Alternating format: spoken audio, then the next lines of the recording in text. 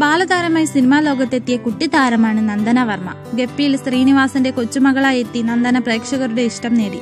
Social മീഡിയയിലും സജീവമാണ് നന്ദന. ആര് കളിയാക്കിയാലും തന്റെ കോന്ത്രപ്പല്ല് മാറ്റാൻ തനിക്ക് ഉദ്ദേശമില്ലെന്ന് പറയുകയാണ് നന്ദന. മാതൃഭൂമിയുമായുള്ള അഭിമുഖത്തിലാണ് നന്ദന തന്റെ പല്ലിനെക്കുറിച്ച് തുറന്നു പറഞ്ഞത്. കഴിഞ്ഞ ദിവസം കൂടി വീട്ടിൽ പറഞ്ഞതേയുള്ളൂ ആ പല്ല് ഭയങ്കര ബോറ ഒന്ന് ശരിയാക്കി കൂടെയെന്ന് പലരും പറഞ്ഞിട്ടുണ്ട് ചിരിക്കുമ്പോൾ ഭയങ്കര ബോറാണെന്നൊക്കെ. പക്ഷേ കളിയാക്കുന്നവരോട് ഇടയ്ക്ക് ഞാൻ പറയാറുണ്ട് ഇത് യുണീക്കല്ലേ എന്ന്. പല്ല് ശരിയാക്കണമെന്ന് എനിക്ക് ഒട്ടും താല്പര്യമില്ല. ഇനി വലുതാകുമ്പോൾ എന്ത് ചെയ്യുമെന്ന് എനിക്കറിയില്ല. ആദ്യമൊക്കെ ഇൻസ്റ്റഗ്രാമിലൊക്കെ ഇടുന്ന ചിത്രങ്ങൾക്ക് താഴെ കുറെ നെഗറ്റീവ് കമന്റുകളൊക്കെ വന്നിരുന്നു. പക്ഷേ പിന്നെ പോസ്റ്റ് ഇട്ടിട്ട് ആരും അങ്ങനെ മൈൻഡ് ചെയ്യാതായി.